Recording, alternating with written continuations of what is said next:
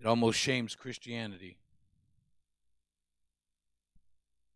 It's, it's amazing to see the thousands upon thousands bear the cold. And uh, down the Cape, it was cold. I, I don't know about up here, but it was cold. We were near water, and that wind was whipping off that water, and I threw my back out standing up there. And so um, we were standing for at least two to three hours. Want to welcome those who are watching by Facebook tonight. We're not going to be going into hermeneutics, but we're going to share something that's been on my heart since this tragedy of Officer Gannon's death. Um, I didn't feel um, that I had the stamina to preach that and teach that tonight. And I really didn't study it, so I didn't want to just throw it out there, and I didn't want to cancel Bible study tonight. I don't think it's fair to you or to others that will be watching. But when I came home, I went right into bed. I, if you ever had a chill to the bone, where your bone is so cold, that's what I felt. And then getting out of that traffic was uh, was something else. But um, I asked the Lord, I said, What do you want me to share? And, and He led me to the scripture in Proverbs chapter 17, verse 15.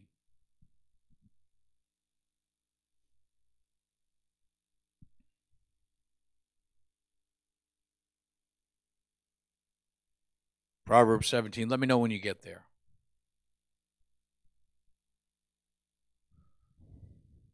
Hey, you're home.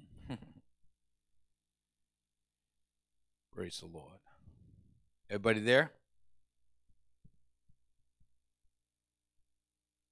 Okay. It says, He that justifieth the wicked,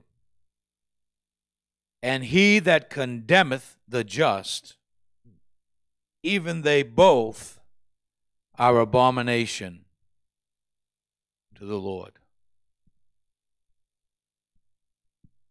He that justifieth the wicked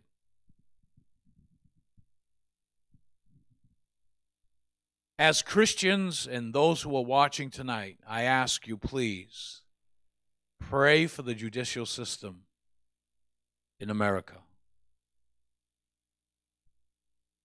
Not all, but many are corrupt, making back back door, back room decisions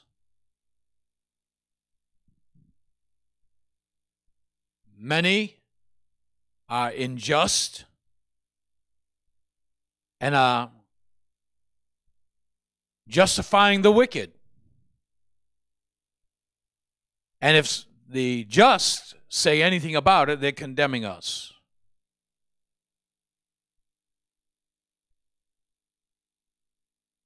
Now, I know that the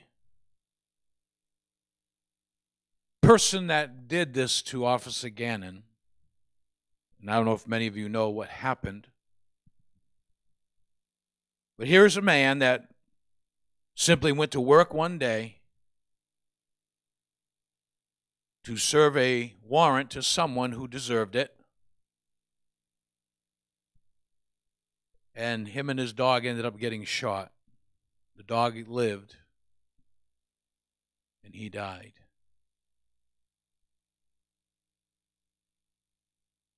And the man that did this had 111 arrests, many felonies. And that man should not have been out of prison. I know I'll probably get some flack from this from some of the uh, left wing nuts, but I don't care. that man should have been locked up, and this would have never happened. But it's amazing to me how we justify the wicked. We make every excuse for them, even in the church. We make every excuse for them. Well, you know, that's their bringing up, and that's their, you know, they just, it, it's not their fault. Yes, it is. It is their fault because they have a free will just like you and I have a free will that God has given to us. You may say, well, there's contributing factors to that. And that may be true.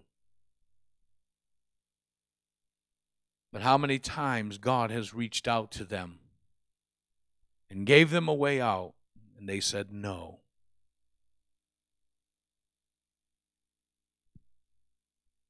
He that justifies the wicked.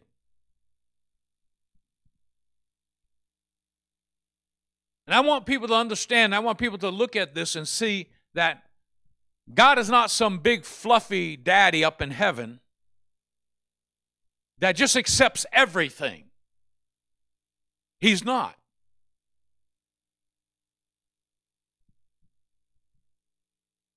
I've had discussions with people who said, Does God get angry? Some people say, No, God doesn't get angry. Yes, He does. The words, the Bible says He's angry with the wicked every day.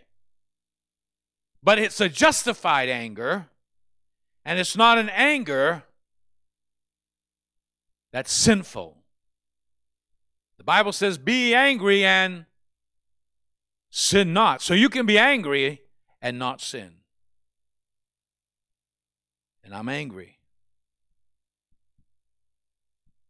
I'm angry that I had to stand in that cold for two hours for someone I didn't know, but have a broken heart for. To see his wife now have to go alone. Made a vow to her husband. Of th- he's 32 years old. Just starting, just starting off in life. I'm angry that his life was taken so so quickly because of justifying the wicked.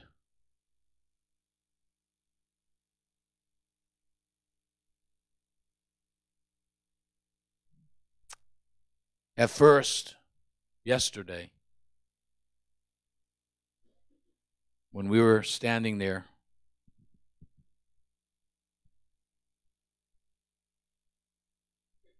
it might have been there, it might have been on the way on the bus. Imagine that we had nine police officers traveling in a in a, a senior citizen bus. They were laughing at us as they were going by. Uh, I don't remember if it was on the bus or I was standing there. But I said, that guy that did this is a scumbag.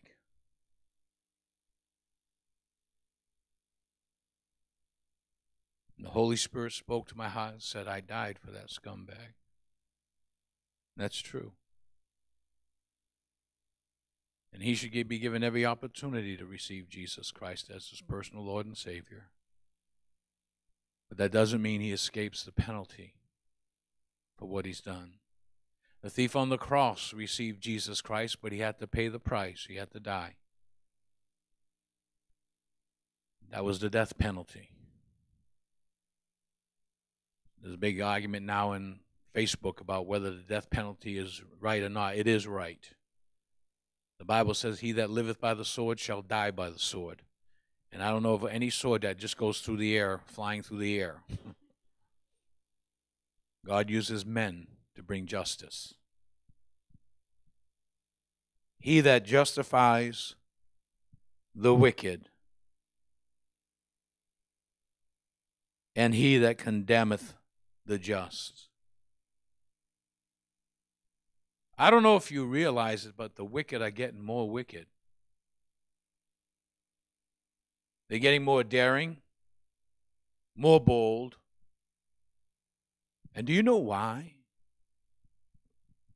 Yes, we're living in a time where the spirit of Antichrist is ruling and reigning and beginning to even pour out more and more and more and more and more. But the Bible says that the spirit of lawlessness is already in existence. The man of sin, who is a man of lawlessness, is coming. And lawlessness is preceding him at an apocalyptic speed.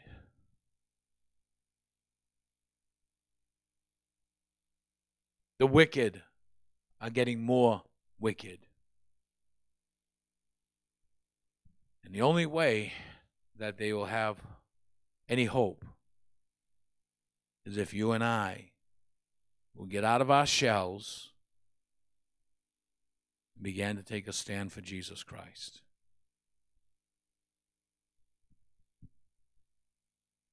When you see injustice, to stand and say no whether they condemn us or not. But I believe this young man who did this,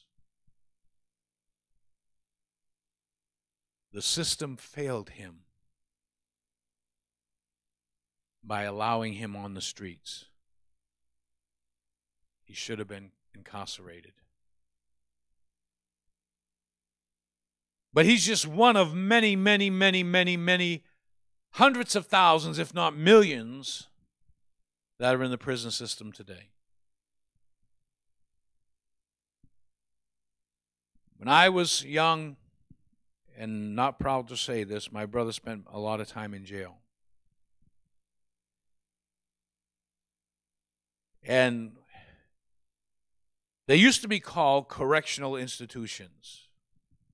You were institutionalized for breaking the law, and they had an objective, and that objective was for correction. It was a correctional institute, it was to correct the behavior.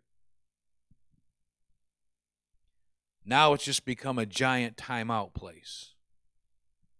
People go and just do their time and come out. And they're none the better.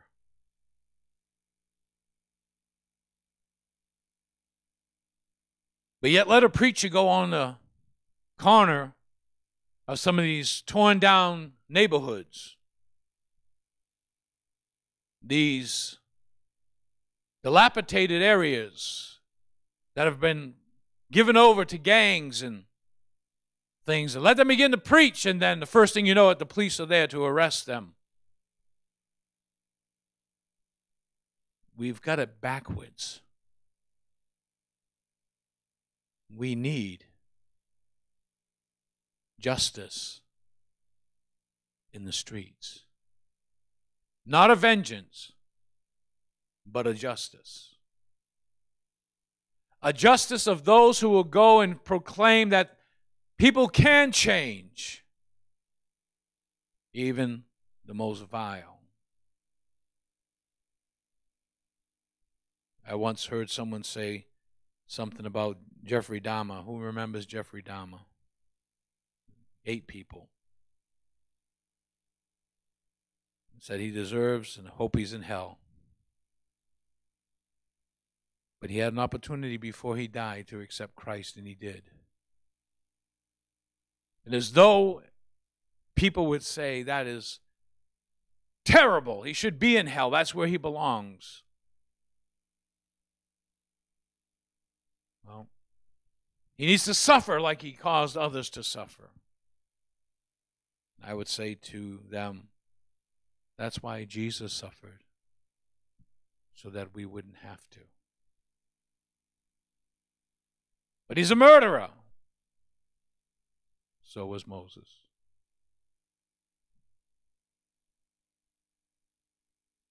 And God was able to redeem Moses. The Apostle Paul was a murderer. God was able to redeem him. So, my prayer is that this young man is going to spend the rest of his days in prison. And I pray that someone, some chaplain, our minister will go in there and tell them that even though you're in prison physically, you don't have to be in prison spiritually any longer. That there's one that can release you. And though you may have to pay the penalty the rest of your life behind those bars, you can still do good by reaching to the other inmates and showing them through your life that there is a God who forgives. That's something that humanity doesn't want to hear right now. But he that justifies the wicked, and he that condemneth the just, even they both are an abomination to the Lord. Wow. Those people, mostly in the House of Representatives and Senate, that vote on the side of the wicked and then turn around and tell us, the just. And let me say this we're not just because of our own righteousness, we're just because of Christ. It's imputed to us. And then to tell us that we have to accept what they call normal. We have to accept the abominations that God says they are, the sins. We have to accept that. And if we're not, then we're the ones that are the problem.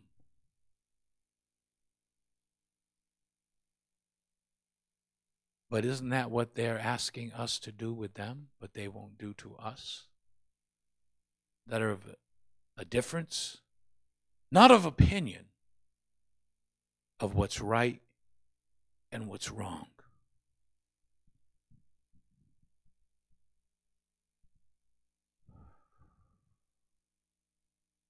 This nation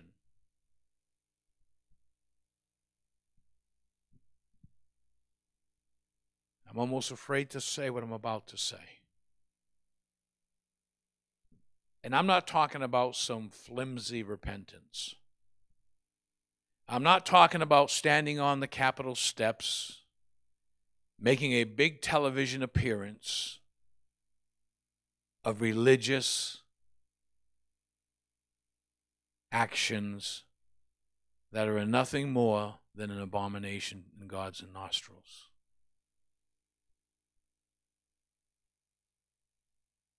making these gestures doesn't mean a thing to God. What means everything to God is if you do them, if you do what He says, if you listen to His voice. How many times you read that in Scripture? That He says, If you hear my voice and you obey me, then you will eat the good of the land. Well, what happens if we do we disobey his voice? We're not going to eat the good of the land. There's four states, I believe, right now that are battling fire. And it's destroyed over a quarter of a million acres already. Farmlands are being eaten up by corporations who have suddenly found that there's no more profit in it, so they're turning it into condominiums. The farmlands. How long do you think that's going to go before we fall into a place of famine? How long are we going to justify the wicked and condemn the just? Now, I love animals. I do. I love kitties. I'm a kitty person, but I'm a dog person, but Linda won't let me have one.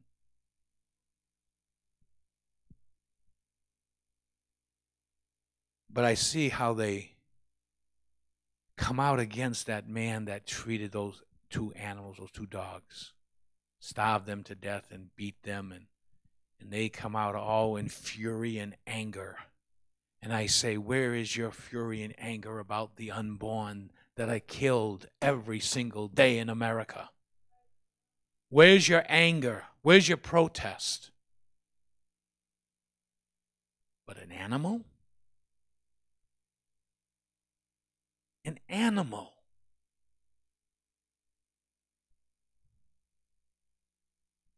But not a person? Because some quack defines it as a fetus?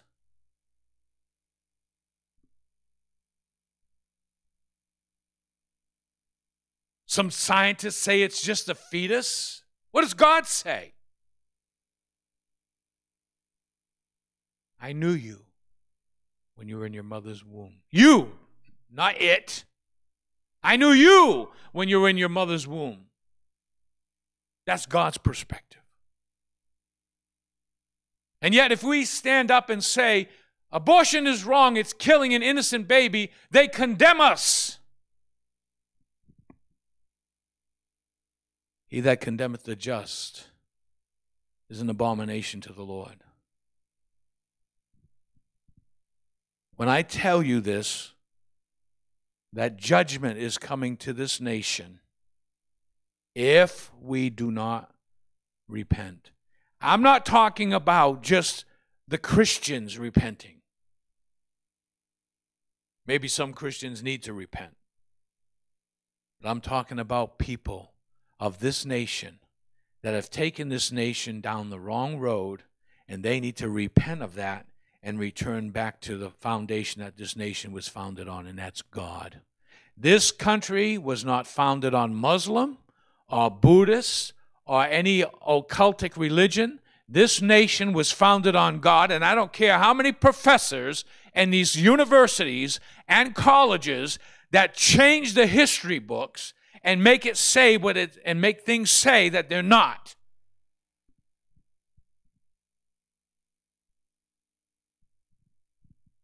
I'm getting tired of it.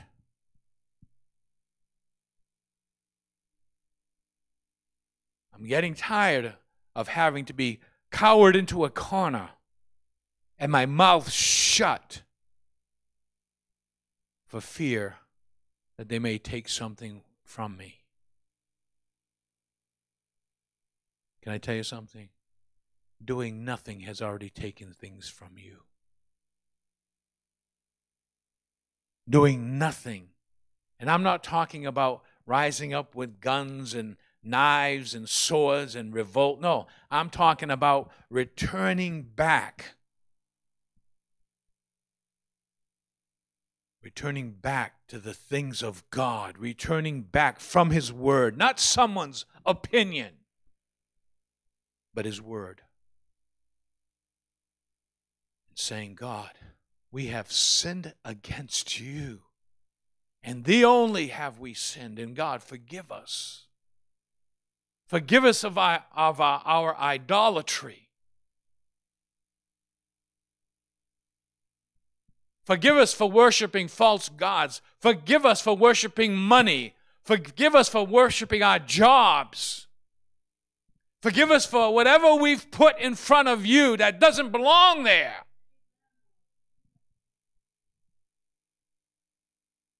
And yet we just shrug it off, put it off.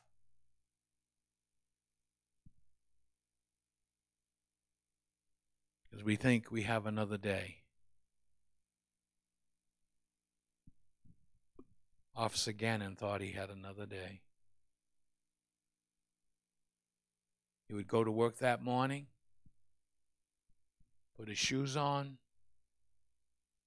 get dressed, go to the station, put his uniform on,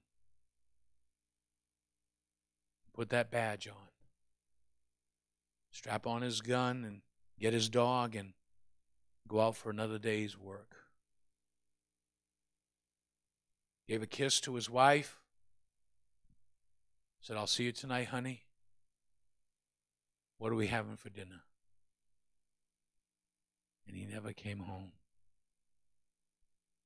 That's the reality. We need to get away from this fancy fantasy that we think of in our hearts and in our minds in this world and say, God, what's the reality of what's happening?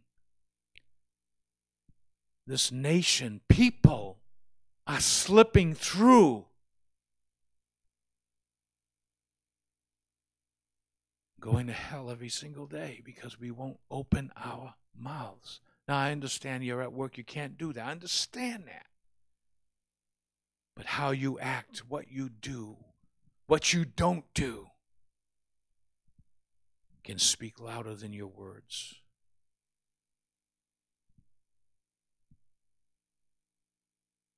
The one thing, without one officer saying anything today,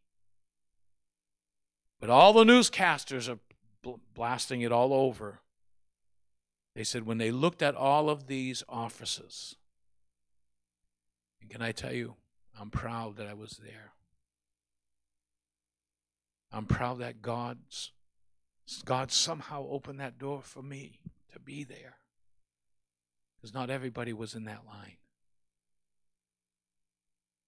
But the one thing they said that all these officers had toward Officer Gannon was respect.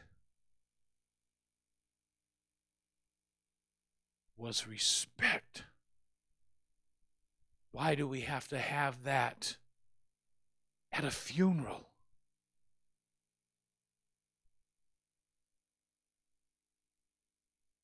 But yet we got these idiots holding up signs Black Lives Matter. Whoever said black lives don't matter? Of course they matter. But so do white White lives matter. Hispanic lives matter. Portuguese lives matter. If you want to get ethnical about it, all ethics matter.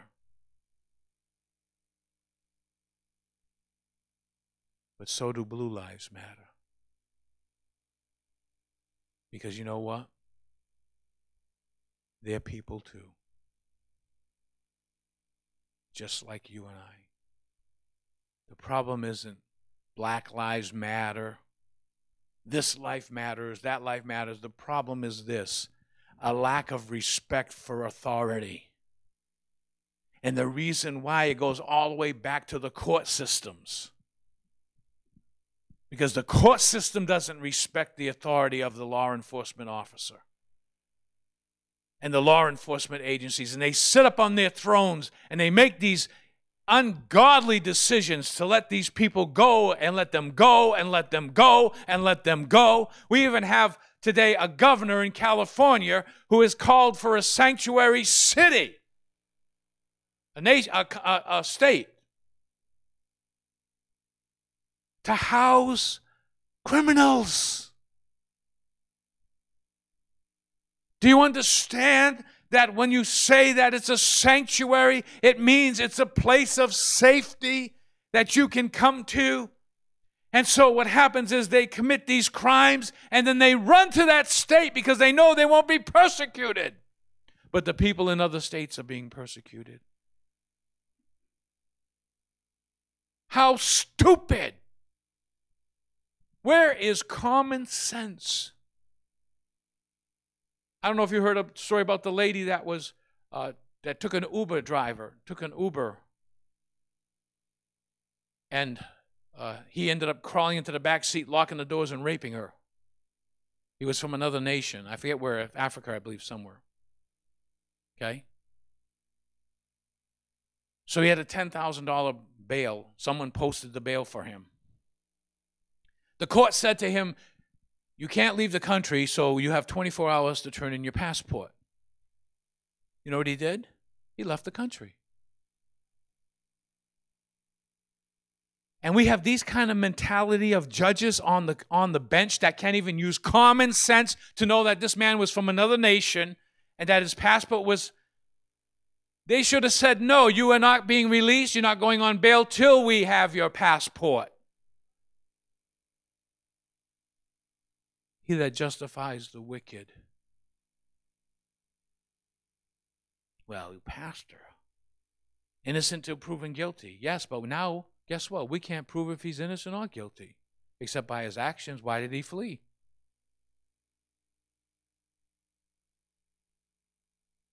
He that justifies the wicked.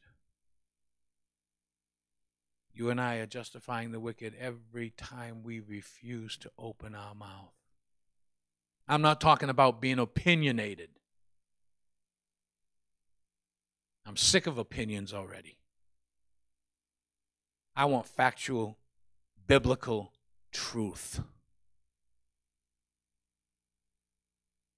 When are the Christians going to stop playing church? Bouncing their little balls and breaking their little light sticks and waving them in services. When are they going to let their light shine before men that they may see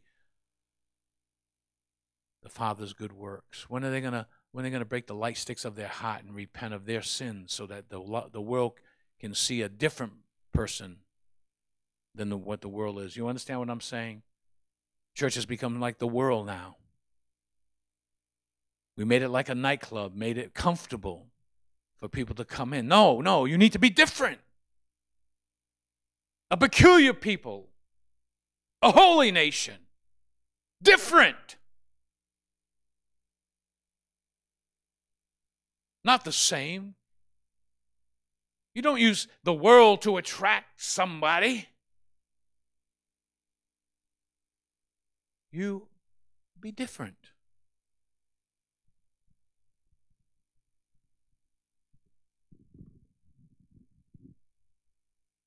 Why did you forgive that person that spoke that to you? Why did you not get upset with that person? But you said you were going to pray for that person. Why did you do that? Because you're different.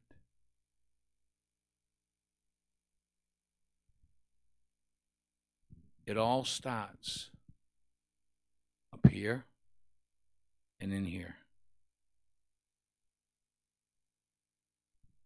What you deem the most important to you is what you'll be committed to.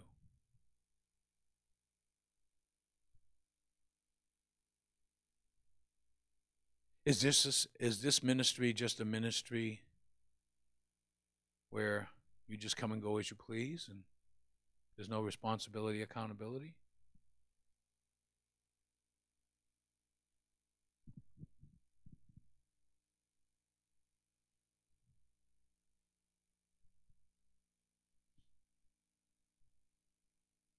Amen.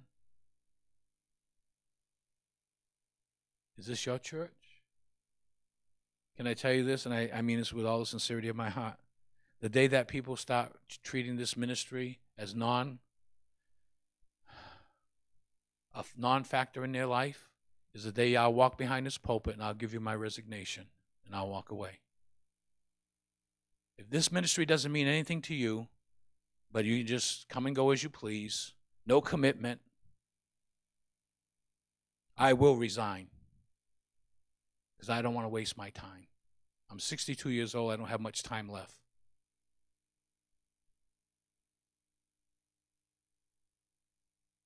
Because when I see a lack of commitment to your responsibilities here in this church, I see there's a lack of commitment to the Lord Jesus Christ. Hello?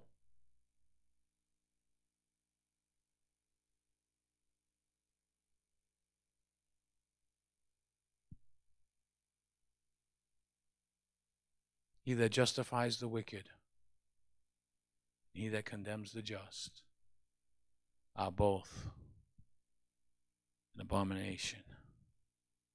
Disgusting. Do you have the message Bible? I got two heads shaking. Thank you. Bobblehead Wednesday. Shoot that up there for me, brother. Whitewashing bad people.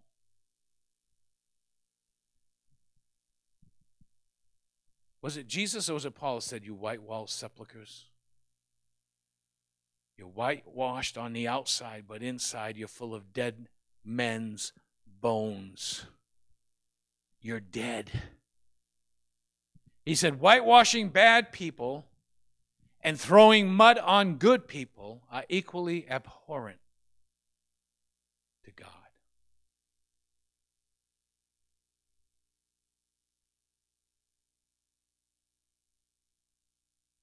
People are having babies out of wedlock. We're cuddling them, and oh, what a cute little thing. Like, we're, we're, we're, we're justifying them. No, do you understand? And, and please understand when I use this, I'll use a different word so you don't get upset with me. When a, when a baby's born out of wedlock, they have a curse on them of illegitimacy. Did you know that? Hello? And we wonder why our kids are like they are. Either this is true or it's not. Either God's way is the right way or it's not. He said, You get married and you have children. You don't have children, then get married. It's backwards. Now, I understand if you're not a Christian and things happen, that's different. But today there are Christians. Hello? And all you got to do is go back and time it from the time they got married until, you know, and just find out that, hey, you know what? They were pregnant before they got married.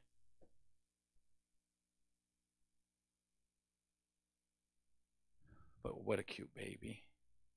Yeah, he is a cute baby. But guess what? You don't renounce that curse, that illegitimate curse, and there's a word for it, you know what it is. Why don't people understand that? See, we don't, the church don't believe in curses anymore. That you place yourself under a curse even when you don't tithe. What does the Bible say? I'm not telling you what I th- what I'm thinking. Read what the Bible says. It says that you're cursed with a curse. Why? Because you've stolen that which is holy and belongs to God. Hello? You wonder why everything's falling apart?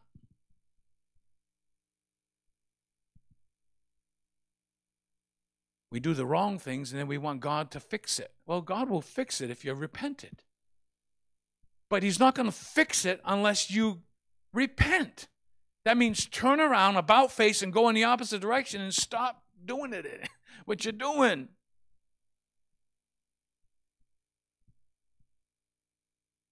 Let me ask you a question. How many here work hard? Raise your hand. You work hard. You're a hard worker. Okay. That's that's that's a blessing to be a hard worker. Yeah, Nelson, you're a hard worker. You are. Okay. Vicky's a hard worker, but every single hand that was raised here, you're hard workers. What would you think of a of a judge if you came home one day and all of your belongings, all of the things that you own, all the precious memories that you have been given are suddenly emptied out and you go home to an empty house. And then they catch the guy that did it. And he goes before the judge and he says, Well, judge, you know, I've, I've had a rough life. You know, it's, it's been really bad. You know, I, I, it's been really tough for me. And the judge says, Oh, okay little slap on the wrist. You know, we're going to give you 30 days in the house of correction, but we're going to suspend that. Okay? And we're going to hope that you just go out and don't do it anymore. Now, all of your stuff's gone. You can't get it back. It's all sold. It's all gone. He took the money and he's probably gave it to somebody to hold on to him till whatever. Would you think that that just that judge is just? Would you say that you had justice? What about God? Do you think God is going to justify the wicked?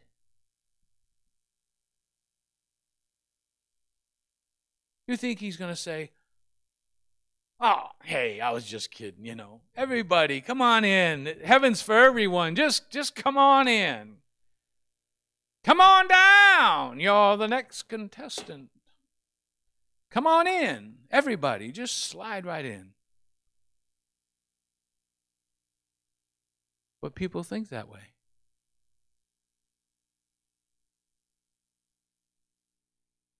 They think that it's a universal gospel of universalism. How can a loving I don't know if you heard this. This this this this really upset me. How could a loving, caring Father God crucify his son?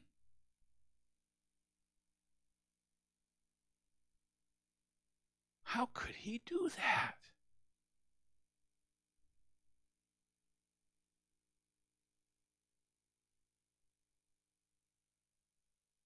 Those people are loony and they're teaching people. Carlton Pearson is one of them. Used to be a man of God, used to be a preacher on television, a preacher of righteousness, holiness, now doesn't believe in hell, doesn't believe in, that God would send anybody to hell and that everyone's going to be saved and it's covered by God's grace and love. And it's a false gospel. My Bible says that there is another Jesus and there's another Spirit. How many have received another Jesus and another Spirit?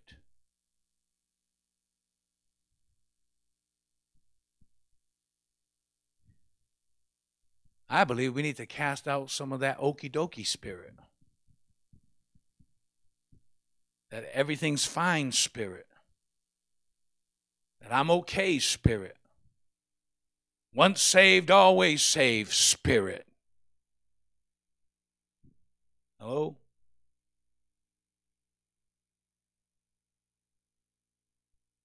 Can I tell you, I don't care if this church has every seat filled.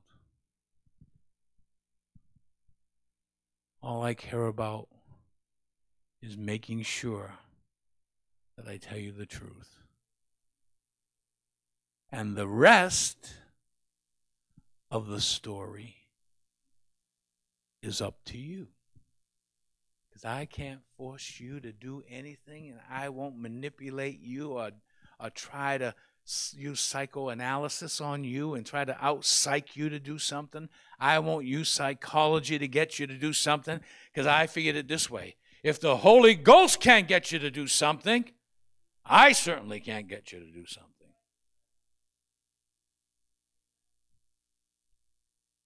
Whitewashing bad people. It's okay. You know. And I'm you know, I'm not I mean, let, let me let me clarify something. If someone came if a couple came in here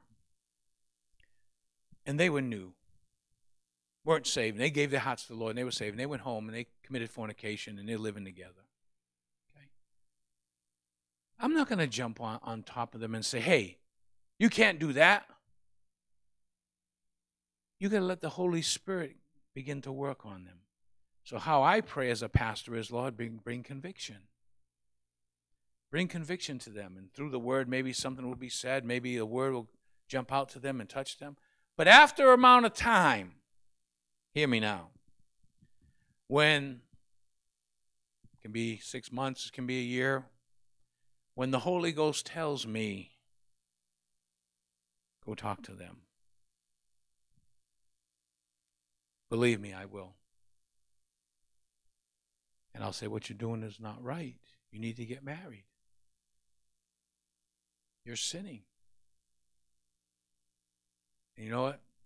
most of the time they'll tell you, you know what, Pastor, God's been dealing with us on that. We want to talk to you about going through counseling or maybe setting up a time when we can get married. Yay! But if they said no, we don't see anything wrong with living together, then I would tell them, then please find another church. Hello? Well, that's not very loving, Pastor. That's not very care. Yes, it is. It's very loving and care to all of you who may think that I'm okay with that, and I'm not okay with that. Hello? I had a minister one time tell me,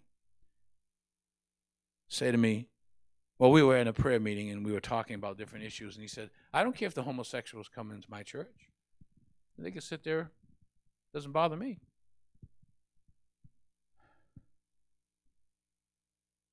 I said, What if they were there for five years? He said, That, that wouldn't bother me.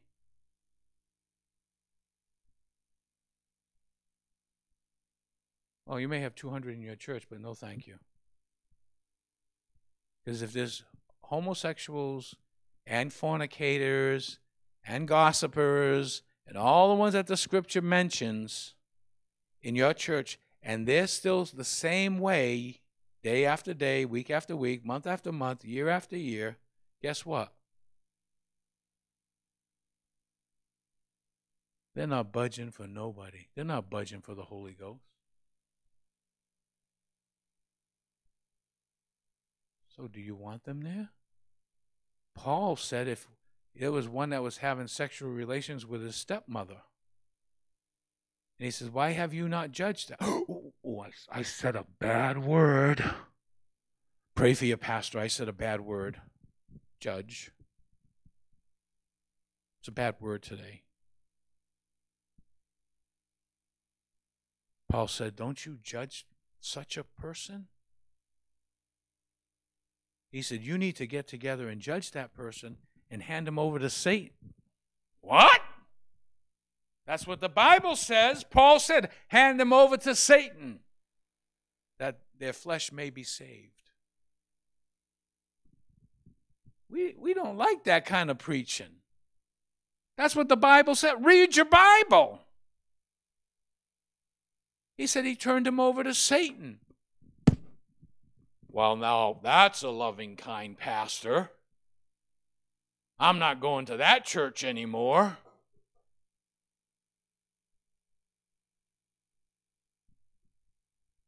If you begin to put the hermeneutics that we're learning into reading the scriptures, you'll be amazed how far the church has wandered away from biblical foundation your eyes will begin to be open and you go, Woe is me. Understand when God moves, it always begins with us. When there's an, you know, we have services, you know, and the presence of God is here, and, you know, the worship team's up here, and, you know, they're wobbling back and forth under the presence of God. You know, they're, they're just like, wow, God, your presence is so magnificent. But did it cause you to repent of things? Isaiah said, in the year that King Uzziah died, he said, I saw the Lord. Now the Bible says no man can see God and live, so he had to be it had to be a spiritual thing. And then what did he say? When I saw him, I ran up to him, put my arm around him, and said, Hey, Jesus, buddy, what's going on? What's happening? Like some of these preachers on television that are saying that they had a conversation with Jesus, you know, and Jesus was depressed. they didn't have no, they didn't have no, that wasn't Jesus. Isaiah said, When I saw him, I fell at his feet as a dead man.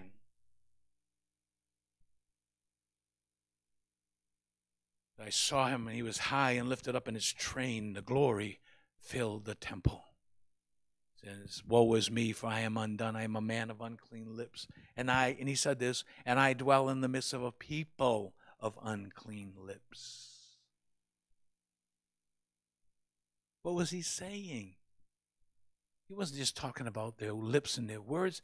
The Bible says, out of the abundance of the heart, the mouth speaks.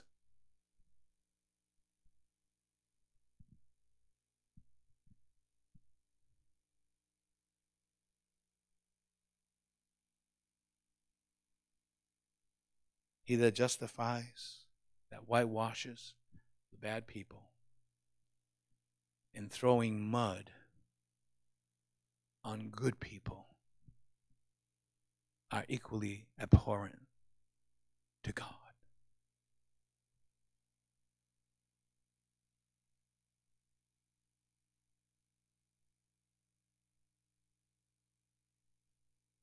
We need Jesus. We need a move of God. Can I tell you, there's no church program, there's no worship style.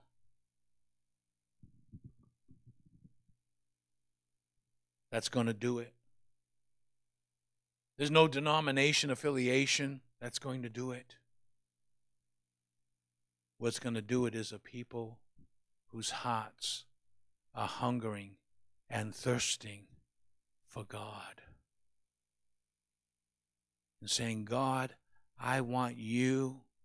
I don't want to be robotic in my service. I don't want everyday mundane churchianity. I want Christianity.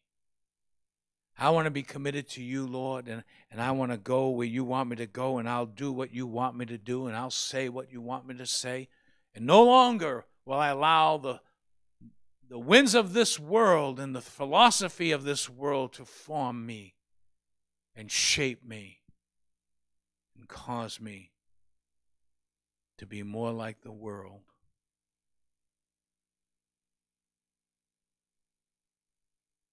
Make me like those who whitewash bad people. How many times you've heard people say this, and some Christians oh, Oh, oh, oh, well, they're a good person. No, they're not. What does the Bible say? There's none good, no, not one. Hello. Because they'll trust in their goodness for their righteousness. But our righteousness is as a filthy rag. Do you know what that means? You know the connotation to that scripture? It has to do with minstrel. A woman's min- minstrel. Righteousness that's filthy rag. That's our right. That's our own righteousness. That's why we needed someone's righteousness that was higher and greater than ours. Amen.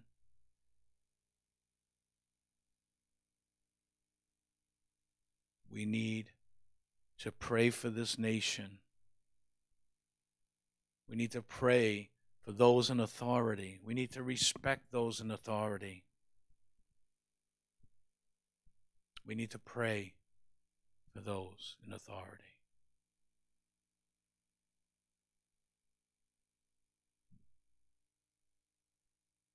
We stand.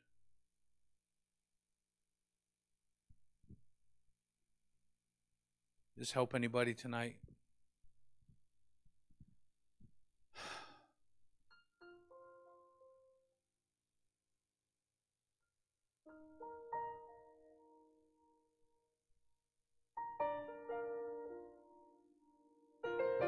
No, we sing that song, I give myself away. And then we take ourselves back. And then we sing that song, I give myself away. Then we take ourselves back. Give ourselves away.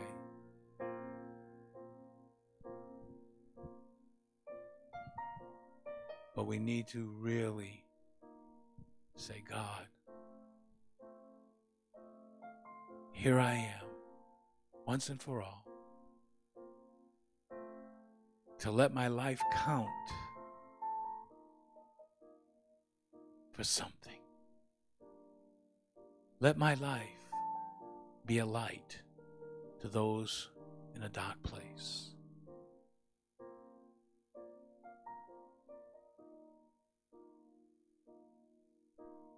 There are those in our assembly that are going through some difficult times. And while I'm thinking of it, if we can just pray right now for Kathy, our friend, who works at the, I call it the chicken restaurant because I can't pronounce the name, the place. She's going in for an operation, and Last time she was in surgery, she died twice and they had to bring her back. She has some complications. Can we pray for her right now? Father, in the name of Jesus, we lift Kathy up to you, Terrell, Lord. Tomorrow, as she goes for the surgery, God, we pray that your hand, please, would guide those surgeons. Give her grace, Father. For some reason, her and her husband have gravitated to Linda and I, and they want to be our friends.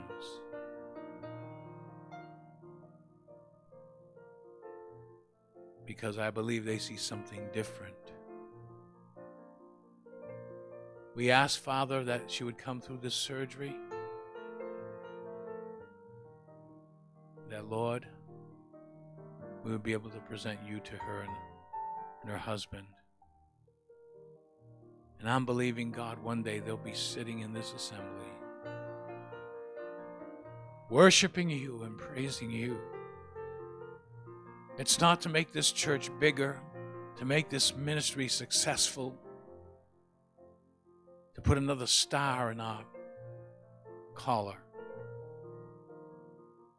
It's for your kingdom, God. It's for you.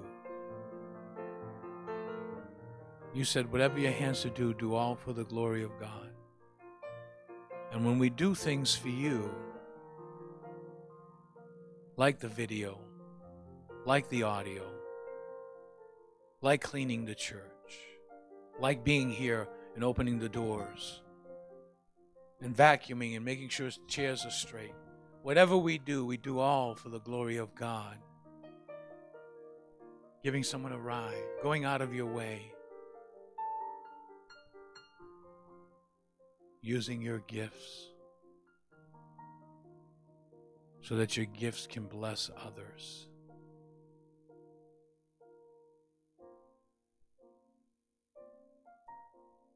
Lord, thank you. Now, Lord, we pray tonight, Father, that you make a move we're expecting it, Lord. We want you to move. We want you to move in our hearts and in our minds and in our homes, in our families, in our children, in our wives, and our husbands, and uncles and aunties, and sisters and brothers and cousins, Lord. We want you to move.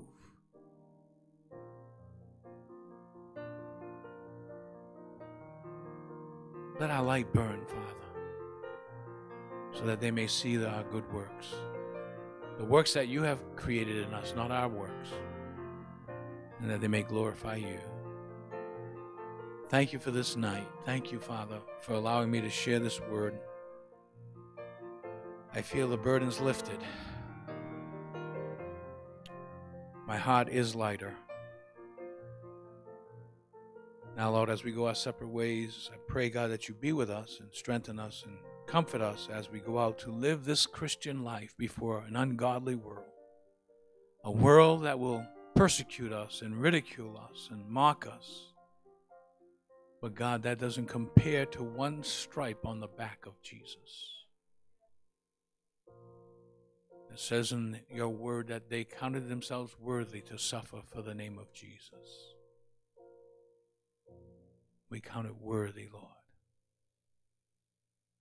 So we thank you, Lord, and we praise you in Jesus' name.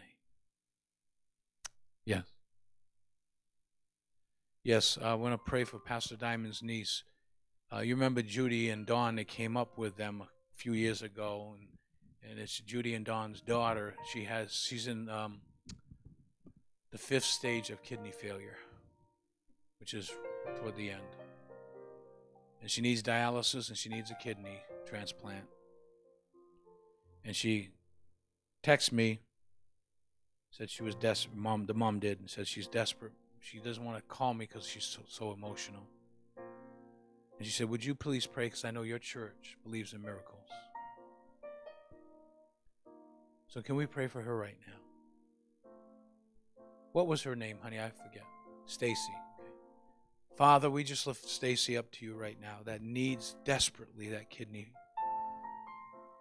Father, we know that you can do a divine intervention and miracle for Stacy. Sometimes Stacy may not have the faith, but Lord, there were others in the Bible that took a man and carried his bed and cut a hole in the roof and lowered him down. And because of their faith, Lord Jesus, you healed him. God, we ask you, Father, Lord Jesus, we ask you to heal this sister, Stacy. Take all the signs of this kidney disease and out of her system, Father, in the name of Jesus, the name that is above every other name, the name that is above kidney disease.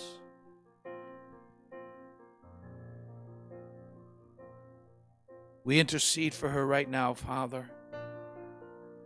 We ask that you be moved with compassion.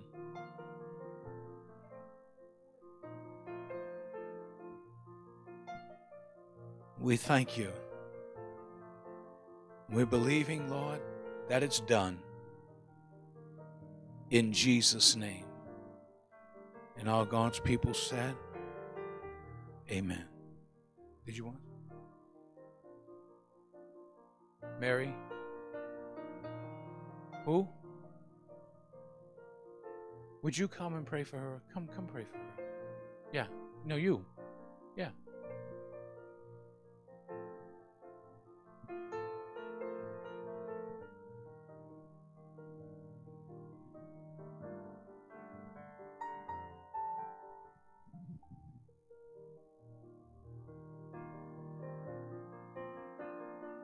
Heavenly Father, we lift up our sister Mary to you tonight, God. Lord, we ask God for your comfort in her spirit, for your peace to be upon her, Lord.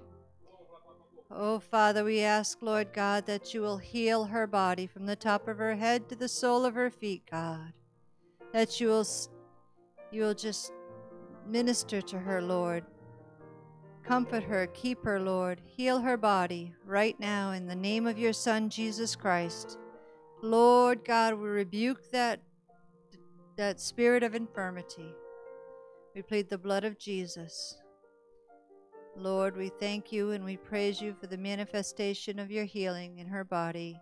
In Jesus' mighty name, amen. Amen. Anyone else before we close? Yes.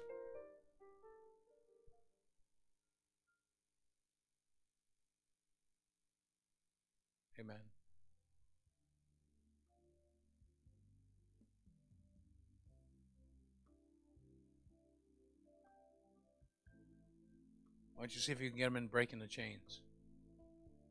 You know what that is? That's what he needs. Not a secular place. He needs a Christian place. A place that will give him discipline, get him back in the Word, get him back in the prayer. Father, we just pray for Darren right now, Father. God. It's hard for those to understand addiction.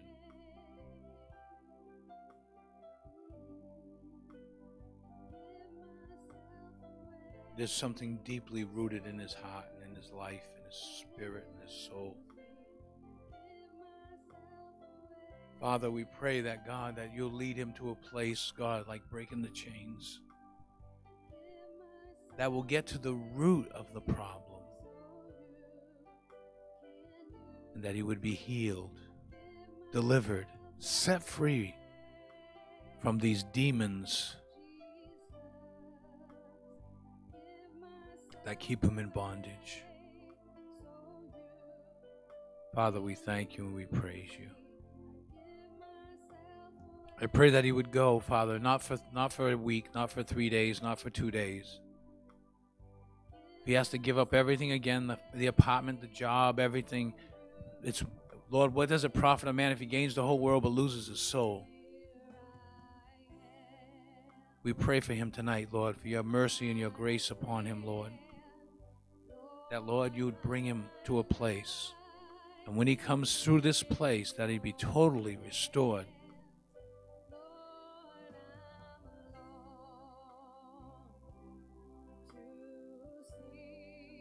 We thank you, Lord, for answering this prayer toward Darren. In Jesus' name. Amen. Amen. Anyone else? Before we close, anyone else?